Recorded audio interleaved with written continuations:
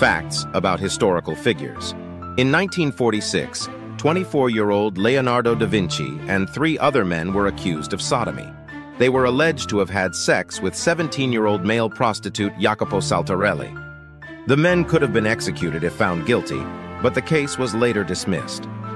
Michelangelo first gained notoriety after making a Cupid statue and selling it under the guise that it was a recently recovered Greek antique. The buyer later heard about the scam and got his money back. However, he was so impressed by Michelangelo's work that he brought him to Rome.